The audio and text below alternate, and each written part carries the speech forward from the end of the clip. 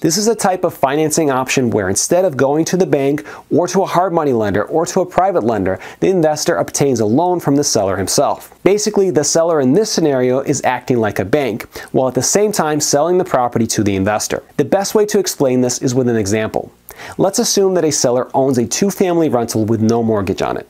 You come in and you offer to purchase the seller's property for $200,000. You tell him that you only have $20,000 to put down and ask him to hold a note for the remaining $180,000 at 5% for the next 10 years or until you can refinance the property with a bank. The seller agrees to accept your offer, you give him $20,000, take title to the property, and begin making monthly payments to the seller pursuant to your loan agreement. This is a basic seller financing type of arrangement. The seller's loan in the property is secured by a first position mortgage and you own the title to the property following the closing.